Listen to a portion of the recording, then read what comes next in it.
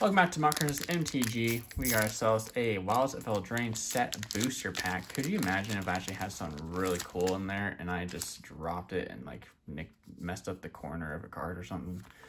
It looks like a $60 card or something crazy. I don't know. I don't know that there's really much higher you can get um, in these packs. Uh, like the non-collector packs. I don't know if you can really get anything more than 60, 70 bucks, but I don't know. We'll see. Toten, Totant's Swarmpiper. Dude, I have no idea how to say that. Lord Skitter's Butcher. Like Master Splinter? Callous Sellsword. Um, that's interesting. Not dead after all. No, she ain't. She freaky. Conceited Witch.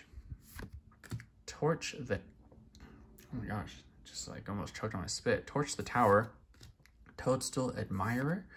Oh, that's kind of neat looking. Overall, don't love the lands in this, the, the art for the lands in this set overall, if I'm being honest. But, I mean, that's not bad looking. That's really shiny. That's crazy. All right. Uh, cool little dragon art card with a the world tree for our list pull. That's really sweet. Cool. Um, foil Beluna's Gatekeeper with a Grasp of Fate and a Hylda's Crown of Winter. All right, look, my, makes me think of like a experimental confectioner. Confectioner makes me think of like the crown from the Wicked Witch and or whatever her name is, the Ice Witch lady from Narnia. Um, I could be completely wrong. So, I mean, if I'm wrong, I'm not posting a picture of her for comparison. But, you know.